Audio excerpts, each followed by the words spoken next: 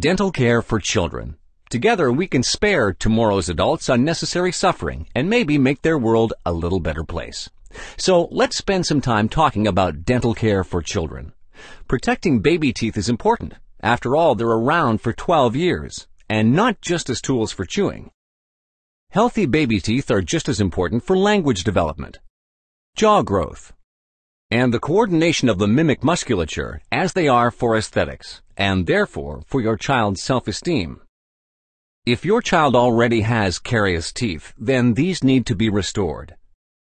Even if it's necessary to do so under a general anesthetic.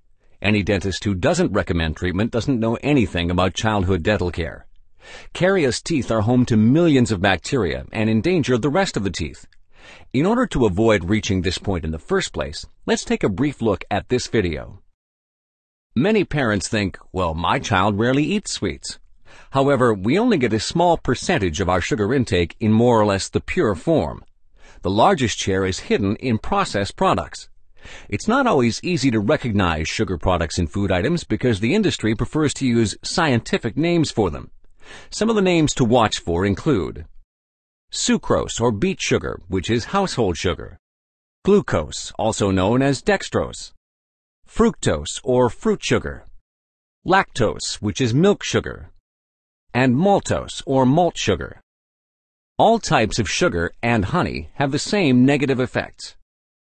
They all help create caries, especially when sugar or foods containing sugar are frequently eaten between meals. Sugar generates plaque, which is a breeding ground for bacteria, and bacteria cause caries.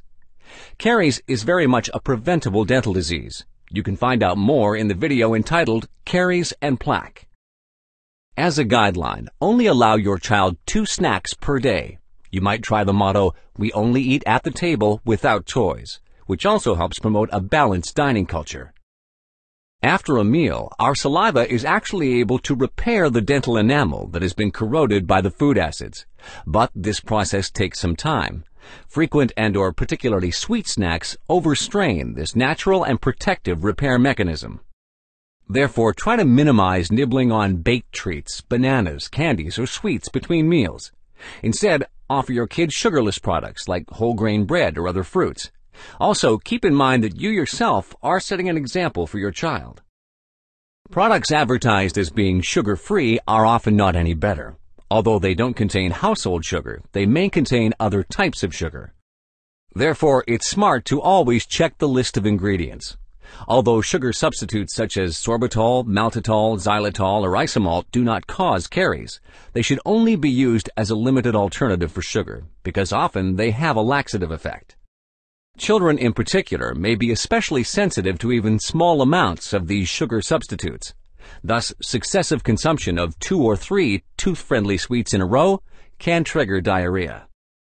Start practicing regular oral hygiene with the toothbrush as soon as the first baby tooth is erupting. However, don't use pressure or toothpaste. The mechanical cleaning activity is the most important part. And of course, after cleaning, don't offer the child any sugar-containing products, including milk.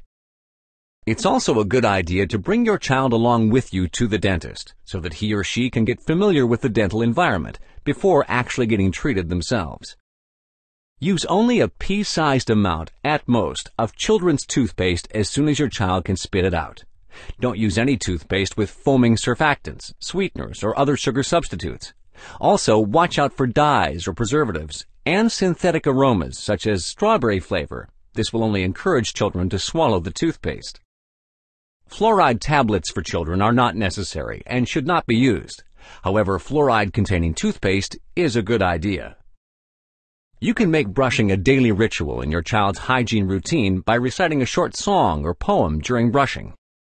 Also, make it a habit to perform a follow-up brushing on your child twice a day until they're 10. It's important to do this because it's only around the age of 10 that children develop their motor skills enough to adequately brush their own teeth. You are your child's best teacher, so allow them to observe your own body care. One of these days, your child will thank you.